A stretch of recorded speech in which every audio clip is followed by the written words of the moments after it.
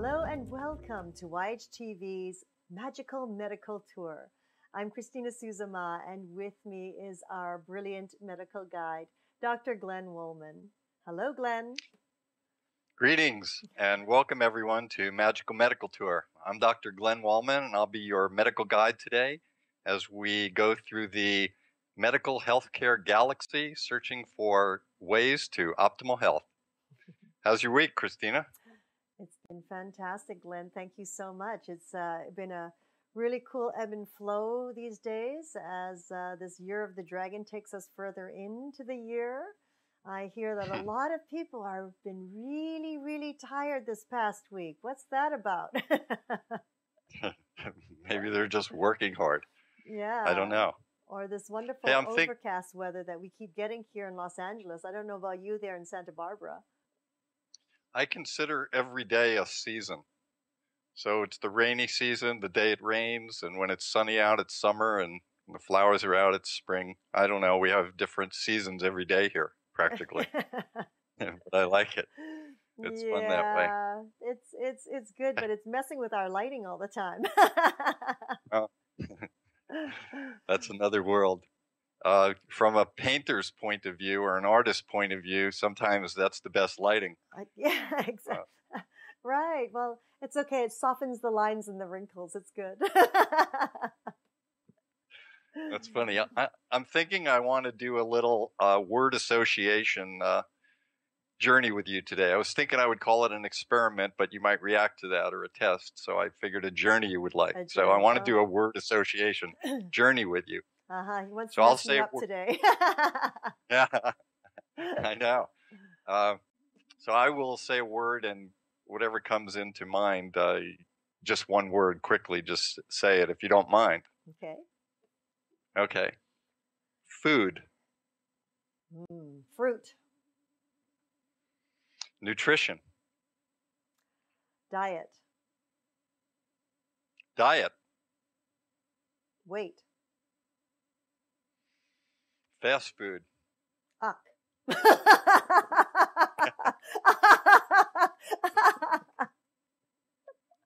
I don't think I could think of another word that, that could top that. Uh, if, these are all words uh, based on our guest today, um, who's Dr. John La Puma. He's a uh, chef MD, and um, I thought he would be really good to speak to today because food for all of us is something uh, very personal. Many times, from just as uh, one point of view, it, it appeals to so many senses. There's the artistic point with the presentation, and there's sensory input from tastes and textures and spices. Then we get into another category of food, which has to do with nutrition. And in that area, we think about, you know, the proteins and carbohydrates and fats and micronutrients. And then we start getting into the um, industrial corporate complex of of food. And at that point, we uh, get a lot of information that comes to us at all times, and it's difficult to figure out sometimes what's good, what's bad, what's a hit, what's a myth. Uh, and hopefully today, uh, I'm going to use a, a uh, cooking term. I hope Dr. Uh, La Puma will clarify a lot of these issues for us. So, Dr. John La Puma is uh, an author. He's written a number of books. He's co-authored a number of books. He does TV shows for PBS, and he's started a clinic, a nutritional medicine clinic in Santa Barbara. He works as a chef MD, and I would like to present him to you and to our audience today. Mhm. Welcome, John. Thanks so much, Glenn. How are you? I'm doing great. It's good to uh, hear your voice. It's fun to be with you. Thanks for having me. Dr. La Puma, a man of my heart, a doctor as well as a chef. Oh my gosh. John, normally with with my uh, audience here, I usually, as a medical guide, try to tell them the path we're going to be on. But I think in today's case, in honor of you, rather than a path, uh, I'd like to present uh, everyone with a recipe for today.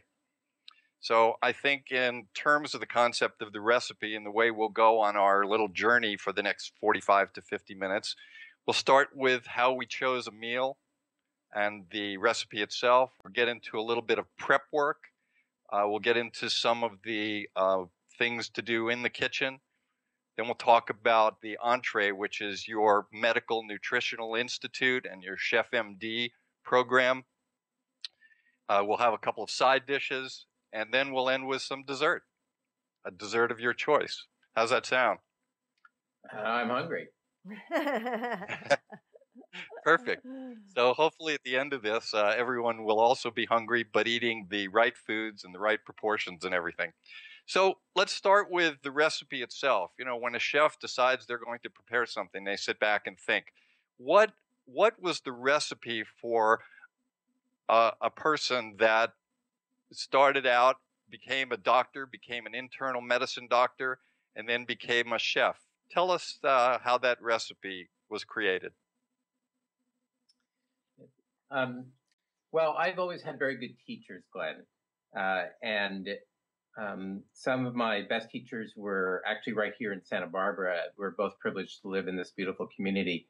And I uh, grew up here as uh, the son of um, two parents, Italian American parents, who cared deeply about food uh, as not only part of sustenance, but also um, um really uh, about love and nurture.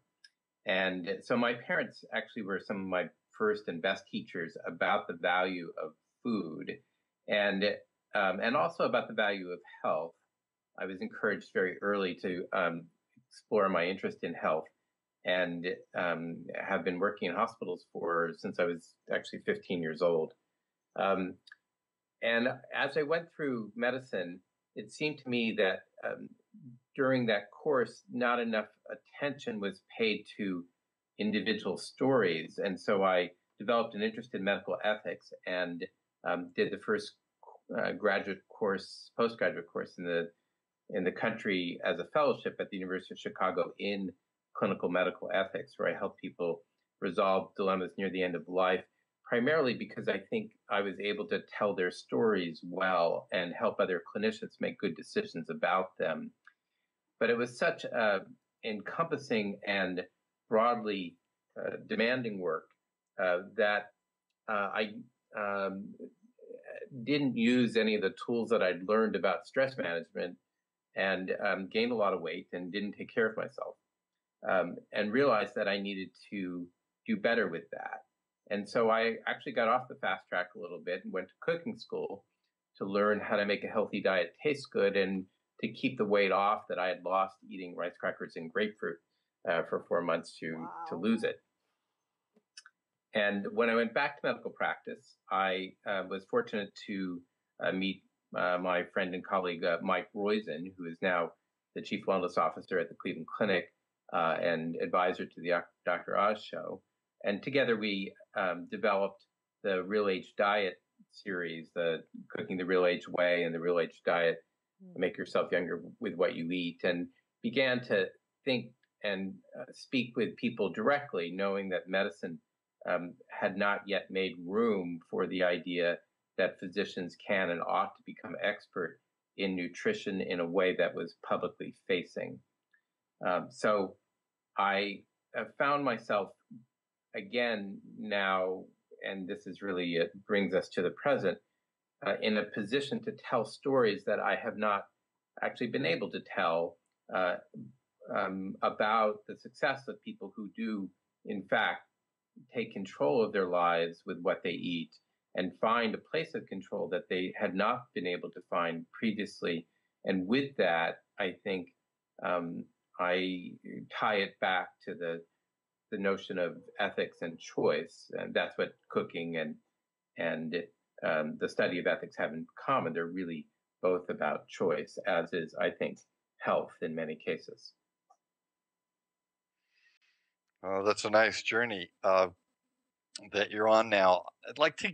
I'd like. To, there's so many questions. When people heard that I was going to be speaking to you, there there were many questions that came up that just really practical, simple questions in terms of you know, just being in a kitchen, even after you've chosen the foods, but uh, in the kitchen, when you start out cooking, and that's what you talk about a lot, what's the what's the best thing to cook with? I hear, you know, I watch a TV commercial that says Teflon, non-stick coating, do this, use this type of skillet or something like that. What what should we use that that won't harm us? I, I like um, natural materials. I mean, uh, I use um, I use a cast iron skillet that's well seasoned. I use uh, stainless steel equipment. I try not to use aluminum, uh, but occasionally I do. Um, I try not to let uh, perfect be um, override good. I think perfect can be the enemy of good. And I think anything that gets people cooking is great, whether it's a bamboo steamer or, um, uh, you know, my six and a half quart All-Clad Dutch oven, which I use for as much as I can, to a simple pot that you find at a thrift store that um, uh, those are some of my best finds. Actually, I have the same ceramic um, um, roasting dish that I had uh, in medical school um, that I still use because I love it. Mm. So I don't like to let the kind of pot or pan or spoon or spatula get in the way of actually getting into the kitchen. There is a there are best choices, and I think they probably are stainless steel and wood. Um, but I think that anything you have is good to cook with. That's a that's a relief. I like that. Uh, on all the recipes now that, of things that come in boxes or cans, they give uh, information on how to cook it in the oven or the microwave. Uh, do you ever use a microwave? I do. I, I don't own one currently, but um, that's because I just moved and um, I'm on an extended camping trip. Um, at least that's how it feels like. Uh, uh, I think microwaves are great. They're great for steaming vegetables.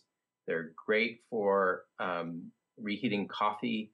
They're great for uh, all kinds of simple steaming and um, boiling things. I have never been able to trace the scientific um, uh, allegations that uh, microwaves are bad for your brain. I, eh, once in a while when I give a public talk, I I talk about uh, microwaving something, and that's almost inevitably raised. But every time I look in the medical literature or in the scientific literature, I can't find any studies in people that indicate that it's a bad thing, or for that matter, in animals. Mm-hmm. Um, there were early studies of microwaves and pacemakers, as you're well aware. Um, right. But um, uh, that problem was resolved, I think, in the 1970s. So I, I think the microwave's a good thing. I think if it gets you to cook, it's even better. Mm, mm. I, I sort of agree. I, I have to say, um, uh, some of the the top chefs in, in Hong Kong had taught me to steam my fish in the microwave, which at first I thought was sacrilegious. You know, it's like steaming fish, but it, it really does. The, the, the flavors and all just sort of blend together just beautifully. So as long as you know how to, it's it's almost an art form cooking with a microwave, isn't it? I, it's a great. It's the best thing for steaming. I know. I like it for fish. It's mm-hmm. very. It treats fish very gently um, um, I'm I'm all for it. And, and all you, good. And you don't feel it takes any of the nutritional value away from the foods? No, I think that's mostly a myth. There there are some foods that are actually enhanced in nutritional value with mm. uh, with cooking. The the fiber in vegetables, for example, becomes more bioavailable. It's more easily uh, digested when it is cooked. The, the, vitamin A in carrots is also more bioavailable when they're cooked than when they're raw. Um, the vitamin C in corn, the same way. Mm-hmm. Uh, mm-hmm. um, these are microscopic differences, but they're biochemically accurate. Mm. So I think um, the the real potential problem is that if I mean if you're boiling Brussels sprouts in the microwave, and some people will, um, first of all they'll sell they'll smell sulfuric pretty quickly. All those sulfur molecules come out, and it'll be kind of unpleasant. But if you um, then toss the water, which you might be tempted to do because you probably shouldn't boil Brussels sprouts in the microwave to begin with, then um, all the water soluble vitamins, all the B vitamins and the and the C vitamins. Um, so I try to reuse uh, water and uh, cooking waters and cooking liquids whenever I can because you recapture the vitamins and you often add a layer of complexity um, uh, in flavor that is interesting. Mm-hmm. Wonderful. Well, that's good to know. That's that. That's uh, I'm I'm glad to hear that positive feedback about microwaving because again, we hear so much about about the microwaves and how it's uh, it changes the food and um, how it's not good for us. And I, I I always wonder if it's what happens to the food inside the microwave or what the microwave as a unit is giving off that affects us. Yeah, you know, I'm afraid that a lot of that is just woo woo stuff. It's not really science based that I can find. Mm-hmm. I mean, I'm happy to look at any scientific study that somebody sends me. You can do it through drjohnlapuma.com. I'm happy to look at peer reviewed science that is about how microwave changes food in an undesirable way. But frankly, um, I think we've had a 50 year test and I don't see any either epidemiologic or public health or um, meta-analysis uh, studies that uh, show us that there's been any danger. And mm-hmm. frankly, I think it's such a convenient tool that um, I like it as an introduction. I also like it for children mm-hmm. to to just have the pleasure of pressing the button on the microwave and watching the carousel go around. Um, and having the light go on when when you open the door. I mean, I think these things are magical, mm-hmm. and it, it's part of how the excitement of cooking can be introductory for people who um, are use their ovens to store hats otherwise. I could see another um, uh, exhibit at Disneyland, Microwave World, for all the kids maybe coming up. Hey, what I, about? I just think um, I think anything that gets people in the kitchen is a good thing. That's true. Uh, what about oils? We hear so much about oils now. Cooking oils, I'm talking about. Uh, you know, what are the, what are the best oils to cook with and to put on your salads, and what are the worst oils? Are there good fats in these oils and omega threes? And all of all of the oil uh, literature is coming out right now. Clear it up for us. Um, the best oils to cook with are generally oils that are liquid at room temperature because then they stay liquid inside of you. Um, I like cooking with olive oil because it's got centuries of and possibly millennia of uh, history. Um, I like dressing with nut and seed oils, particularly mm. sesame and walnut and macadamia. Um, uh, because they're highly flavorful and you only need a little bit.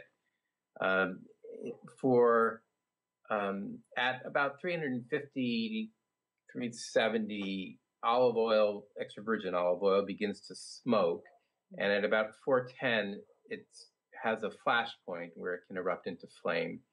And uh, when that happens, uh, uh, more free radicals are created, which are um, can corrode the inside of your arteries. So it's said that you ought not to high temperature cook with um, extra virgin olive oil, but instead ought to use peanut oil or even coconut oil mm-hmm. to um, cook at very high temperatures because you can get up to 450 or 500 and not have it smoke or flash. Um, hmm. there is probably some truth to that. There probably is truth to cooking at really high temperatures with coconut or peanut or um, or another, or even grapeseed oils, all of which have high smoke and flash points. And dressing with the delicate flavors of dark sesame and walnut and other seed oils, and of course, extra virgin olive oil again. Um, I think if I had only one oil to choose, it would probably be extra virgin olive oil because it uh, it is so versatile and time tested. I also like canola oil, and I think there's some lots of controversy about that as well. The erucic acid in it's supposed to be toxic, and it is in the uh, in the uh, older forms of canola, um, which are not usually grown commercially anymore, just for that reason.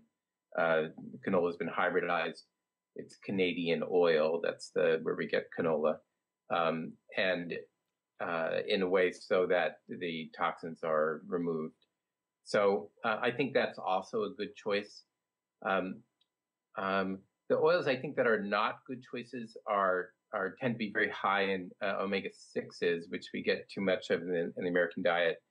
Um, uh, safflower and corn, um, uh, sunflower seed, and of course oils that are partially hydrogenated, those that are high in trans fats, um, which you see in shortening uh, uh, and in some margarine still. Um, uh, they've been largely taken out of uh, processed foods because of their uh, damaging uh, effect on the inside of arteries, their increase in heart disease and stroke risk, and and that's a good thing palm oils have been substituted for them, which are otherwise saturated. Uh, but there's better and better evidence that saturated fat, uh, particularly from vegetable sources, is not as um, evil as it has been painted in the risk for heart disease. Mm. And in fact, um, there is some data to suggest, particularly for men who are low in testosterone, that um, food high in saturated fat is actually important or a reasonable component of their diet because it helps them make testosterone, which is a surprisingly deficient in men in their 50s, 60s, and 70s. And then finally, um, fish oil, uh, which we should mention as omega 3s. Uh, omega 3s are not really good to cook with per se because they oxidize too quickly. But um, the omega 3s that are from cold water marine fish, uh, tuna and um, salmon and trout and sardines and herring and mackerel, uh, not king mackerel or swordfish or tilefish, all of which are a lot of three of which are high in mercury. Uh, these data are available at uh, the USDA.gov and through the Monterey Bay Aquarium uh, and uh, and other uh, important groups that rank fish on the basis of their sustainability and healthfulness. Um, um, omega threes are important to to eat, I think, um, through food, as maybe even more importantly than in fish, uh, than in pill form. Excuse me. Mm-hmm. Um, if you don't eat fish, you can get the omega three through through pills, of course, but I think then you miss out on many of the other nutrients in fish particularly small fish, which are uh, really important and and I think also are ones that we may not even know the names of yet. That's how complex and interesting fish is. Mm. Um, so I, I, hope that's a short, helpful primer on on the importance of oils in food. Basically, uh, fat has been sold as a bad thing, but it's not. Fat is actually good for you because it carries flavor it carries vitamins D, E, A, and K, which are only soluble in fat, and because um, it's fun to cook with and be around. Mm-hmm. And what about butter? I like butter. I don't know many people who don't. Mm-hmm. Um, I hmm. I think there's an argument that uh, natural grass-fed cows produce butter that's terrifically sweet and um, and flavorful. And I buy that argument. I, I like butter as a um, uh, as an occasional condiment where you can see it. Um, butter baked into bread, butter um, baked into crusts, especially butter folded into things, I think takes away what it really offers, which is a very delicate, rich flavor. And um, if you fold it into mashed potatoes or uh, almost anything else that is mashed or whipped or pureed or um, uh, otherwise encapsulates it, I think you lose what its very specialness in both flavor and in um, texture. Mm. But so I'm an advocate of if you use butter, I think you it ought to be visible. You ought to have a tiny pat on top of roasted asparagus. You ought to have a, uh, a small dollop um, on on top of another grilled vegetable. You you should not hide it on the inside of a sandwich. I think um, uh, because it is very calorie dense, I'd like to have people see it and know that they're eating it and, and enjoy it. The same is true, by the way, for a lot of oils, um, particularly as I've mentioned, extra virgin and sesame and walnut and others, where it ought to be drizzled over the top of something instead of um, uh, baked or or um, uh, mixed within it. Mm-hmm. Oh, I'm getting hungry thinking of all these foods. I had substituted walnut oil for soy oil in a in a cupcake the other day. It was a chocolate cupcake, and I got to tell you, that that flavor of walnut that came through with the chocolate was just unbelievable. it is. I uh, walnut's marvelous. We're lucky to have access to so many terrific seed oils, and and yet people ought not to feel that they um, uh, they can only get that from uh, from a specialty oil. You mm-hmm. can you can toast a few sesame seeds or a few walnuts and and crumble it into whatever it is that you're drizzling uh, walnut oil over, and um, and uh, and use canola instead, and have that um, toasted walnut flavor on top of canola uh, instead of uh, the amazing La Tourangelle roasted walnut oil, which I love especially, and um, and and one in the Santa Rita Hills here that uh, is uh, called La Nogalera, mm-hmm. which is mm-hmm. my favorite mm-hmm. walnut oil. That's wonderful. Um, yes. And we're lucky to have them at the Saturday Farmers Market. You should come and, and check oh, it out. Oh, they're here as well in the Hollywood Farmers Market. That's where there I got my last container. it's uh, Rancho La Vina is is the is the Santa Rita Hill mm. ranch, uh, and they're they're online and they're terrific. I don't I don't own anything. Um, I'm not getting paid to talk about it. It's just, I think they're terrific. Yes, I can agree. I'll second that. See what you're missing. I'd listen to. yeah, I know. I don't think I'm missing any of this. I uh, I just heard a talk on omega threes, and I, it was always interesting to me because whenever I hear omega threes, they always talk about the fish you should get it in versus krill versus everything. And the, the actual talk started with the concept that the omega 3s don't come from any of the fish, it comes from an algae, which all of the fish eat. So I thought that was kind of interesting. Hmm. Uh, and yeah, that's correct. Of course, that's where fish get their omega threes.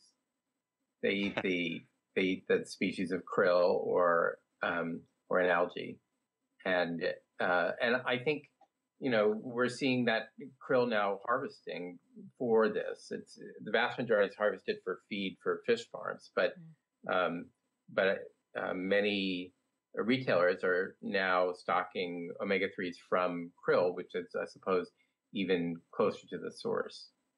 Wow, interesting. That's right. It, let's get let's start into the entree now a little bit about what you do at your Medical Nutritional Institute. Uh, we talk about uh, diets. The there are cultures in India and around the world that practice Ayurvedic diets that have to do with certain body types. We talk about the uh, diet for your blood type. The genome uh, studies are teaching us that there may be diets that really specifically are genetically more appropriate for each of us. Uh, we hear about diets all the time. What, how do you look at diet, and what's your thought on the concept of either diet for nutritional purposes, and then we'll get into diet for weight loss purposes or weight control? Um, let me take that in reverse order. I think the diet for weight control it can be summarized simply the best diet is the one that you can stay on. Hmm. So weight control is i find as individual as people are i think there are significant differences between men and women the foods that are good for men and the foods that are good for women and the programs and dietary approaches that are good for each. Most dietary programs and books are written for women instead of for men but it turns out that men need a very different kind of process than women do uh, and have been kind of underserved in this area in my opinion um, and I'm working on that with a program called the Man Plan Diet uh, that um, uh, is also going to be a book out next year uh, by Crown. Uh, and right now we're doing the beta test of the program to see how we can help men. Um, I think for both men and women, um, the best diet is the one that you can stay on. The the former question, which is how what's the best approach to to healthy eating, perhaps overall, if I can rephrase that a little bit. Um, I think it is one that is that diet that eating is fundamentally cultural. Mm-hmm. That we we in America have many different cultures, so we're lucky to have many different cultures. And if you go from Latino to Asian to um, to African American, within to uh, Native American, you see dozens of variations within each. And from an eater's standpoint, it's very exciting mm-hmm. because there's a lot to eat and a lot to sample. And I just think it's kind of like Disneyland. um, on the other hand, if you want to eat healthfully overall, it, it's maybe the most useful thing I could say is that um, eating minimally processed food, food is that is close to as it can be to its natural state, which I would include uh, not necessarily raw food, but instead food that is reasonably cooked, um, because it does increase uh, bioavailability of some nutrients and allows you to digest it more easily. Um, not improve flavor and texture, uh, then you should. So eating a diet that is minimally processed is, I think, one easy guideline. Another easy nutritional guideline is to, um, and this is also true for weight control, but it it has to do with the cultural and social and aesthetic aspects of eating, is to sit down when you eat. I know that sounds kind of simplistic, but if you watch how people eat in our country, you know, we eat just about everywhere, first of all, and um, and in almost every position, horizontal, vertical, um, on our sides, uh, sitting, and if you sit when you eat and you have a plate in front of you, um, preferably with utensils and a tall, narrow glass, because people drink less from a tall, narrow glass than from a short, fat one.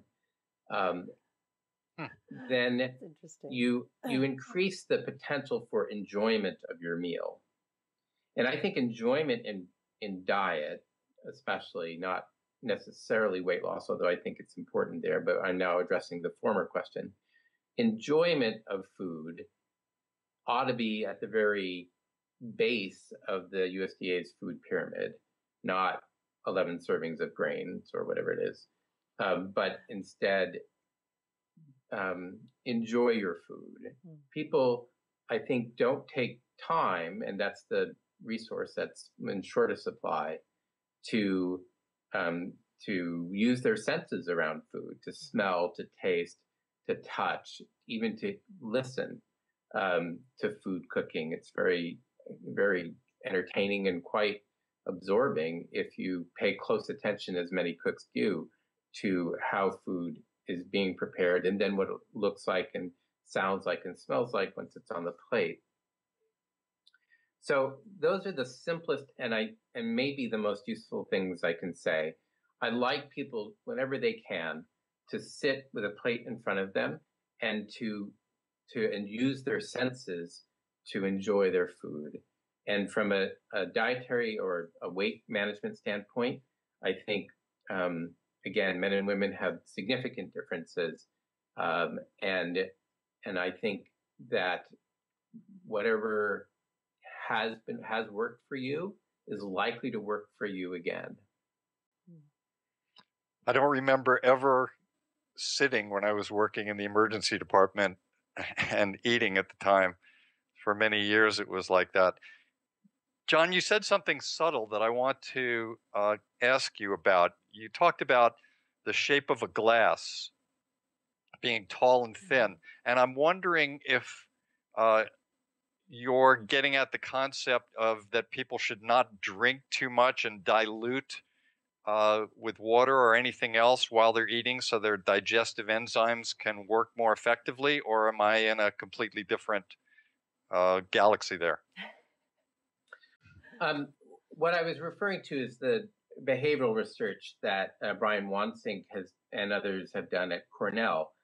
Uh, and, and he's recorded in a couple of popular books, one called Mindless Eating, um, in which uh, he suggests and has done studies to show that if you drink from tall, narrow glasses, it's a little bit more difficult to get your nose in the glass, to um, to manipulate it towards your mouth, to um, uh, to physically handle it than it is to to use a short fat glass where it's much easier to get um, to access the liquid, and that's because uh, many liquids, in fact, all liquids that are not thick, are don't add to satiety or the feeling of being full and fully satisfied. Um, the exception is 600 milliliters, which is what it takes approximately a very thick liquid, smoothie type of liquid, um, which does expand the bottom of your uh, pylorus, that little valve that leads from your stomach to your small intestine that um, triggers the release of the chemical that tells your brain that your stomach has had enough and um, then allows you to realize that you ought to, that you're beginning to feel full and should stop eating. And of course, it's very different than to, um, to not feel hungry and to know that you've had enough. Those are different sensations. And many people need to learn that they've had enough because they don't, aren't going to feel physically full because liquids aren't sati- aren't satiating, don't add to this feeling of being full and uh, pleasantly full. Um, I like people who are drinking liquids that have calories, particularly juices, to um, to use a tall, narrow glass because um, mm. they'll appreciate it more. They'll eat, they'll drink a little more slowly, and it will look like more. Both of all three of which are um, important behavioral and emotional cues to eating to and drinking uh, and enjoying more, um, but having a little less. Hmm. Hmm. Is is there a summer's coming up right now, so it, the beach is happening and weddings are happening, and everyone wants to drop some weight uh, to look good in something they're putting on or taking off is there some kind of a scale that you can give us that would say it's safe and healthy to lose this amount of pounds within this amount of time? That's an interesting question because I, television has uh, warped this perception. Um, the Biggest Loser and, and shows like it show generally that men and women can lose eight, nine, 10, 12 pounds in a week. Um, and, and there's a popular perception that that is not only normal, but uh, attainable in an ordinary way. And it's not. That's a very special circumstance. And, um, and, it, and so it, I think needs to be kept in mind that the recommendations are one or two pounds a week over the long term allows you to maintain the weight loss. Mm-hmm. However, there's more recent research that suggests that people who lose a lot of weight early on have a better chance of keeping it off than people who start a little bit at a time and kind of gradually go down. Hmm.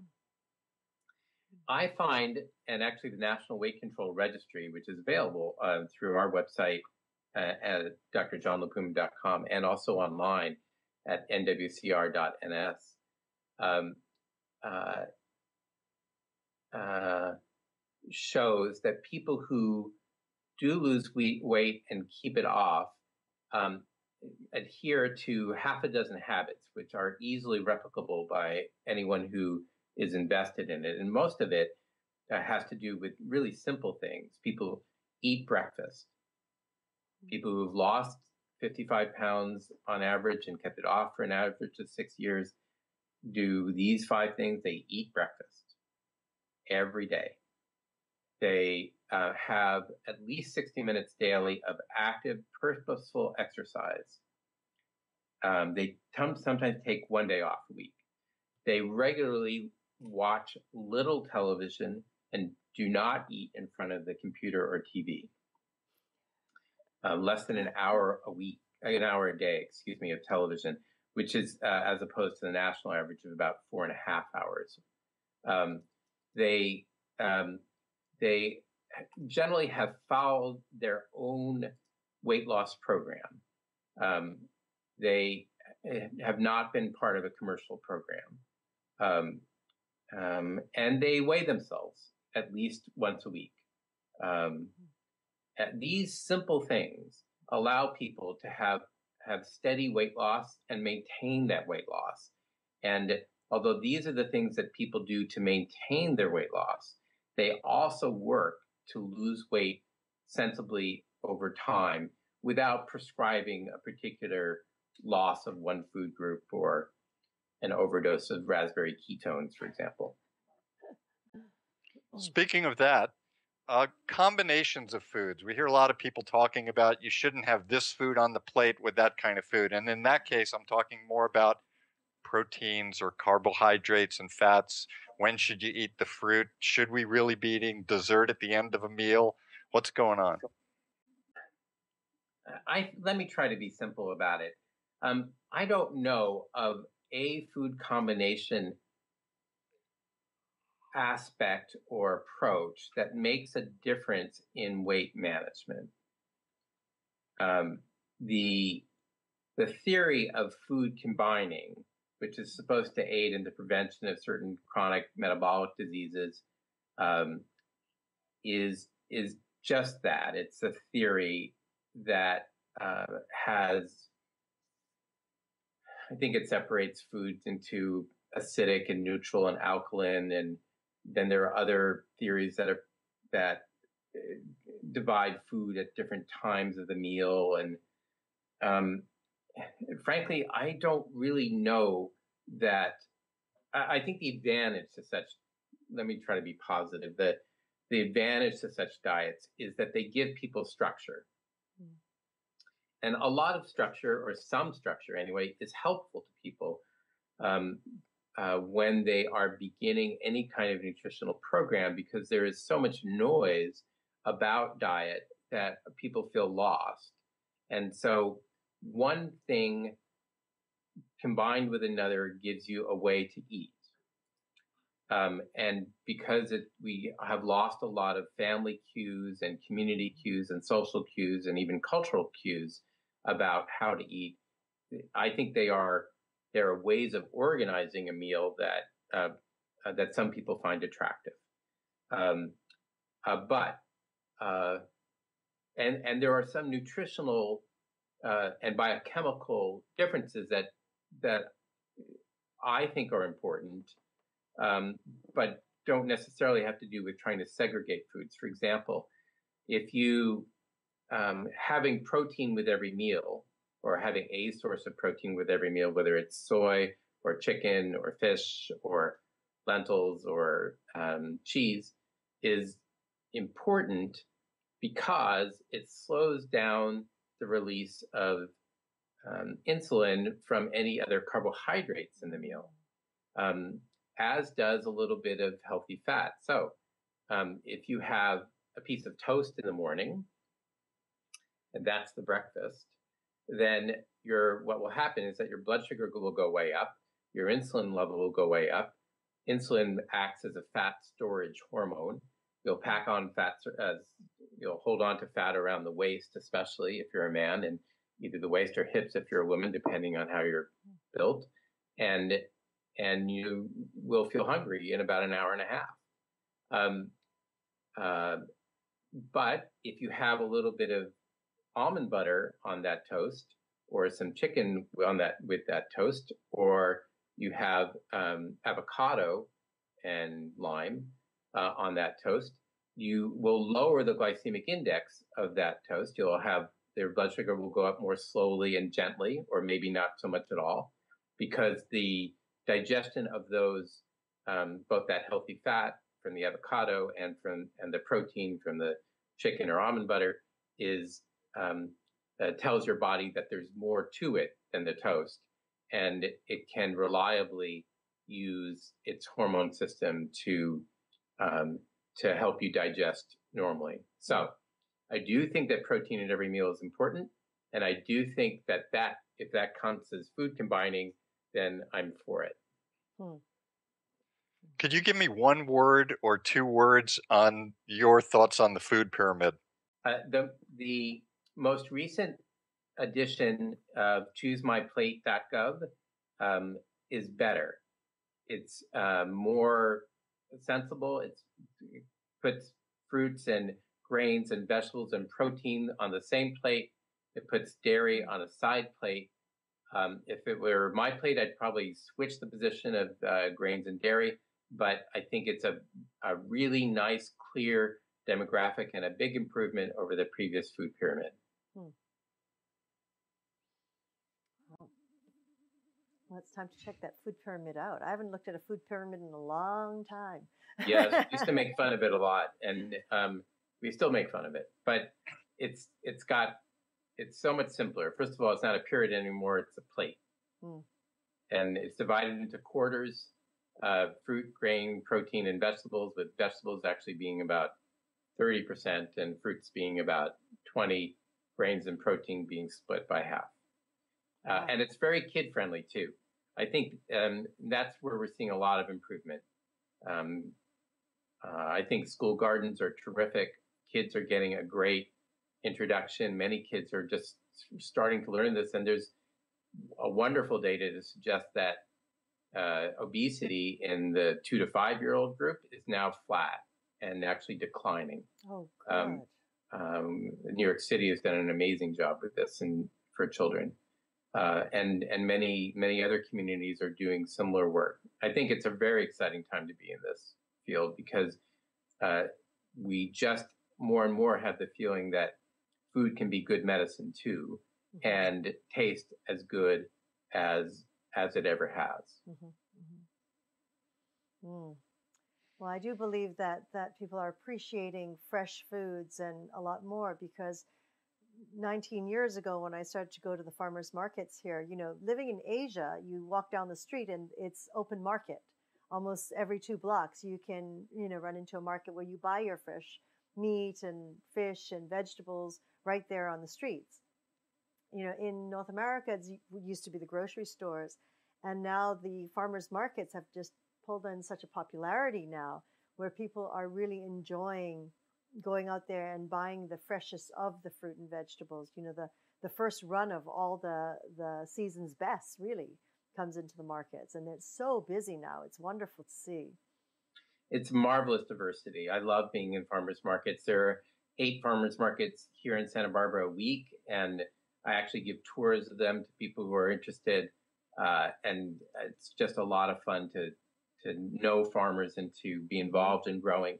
But the good news is that that farmers market movement, which I've loved for decades as well, has now sort of uh, really over the last five years uh, um, prompted many traditional supermarkets to improve their own selections of organic and mm-hmm. locally produced produce. Yes. Uh, so much so that I think that um, we're seeing greater diversity uh, in Vons and Albertsons and Safeway and Kroger and um, and so many more. And that's terrific because mm-hmm. I think it it makes um, fresh food available in ways that it hasn't. And of course, the ability to penetrate into food deserts is an even more promising move. Mm-hmm. Mm-hmm. mm-hmm. Yes, I, I, John, I like to ask each of my guests uh, for a health tip based on your own experiences and your knowledge and your expertise in your field. Do you have something for us? Yes, eat colorfully. Try to have color on your plate and try to sit while you eat and make sure that you really savor your food because savoring your food and learning to cook, I think, are as crucial as the clinic. Well, John, that was really great. Uh, we learned a lot from you, and I know that there are many more questions that we have for you uh, that are out there, and I'm looking forward to maybe doing another show in the future. Uh, so I would like to thank you very much for helping us all today. We wish you well in all your new adventures that should be up and coming. Christina, thanks so much. It's been a pleasure.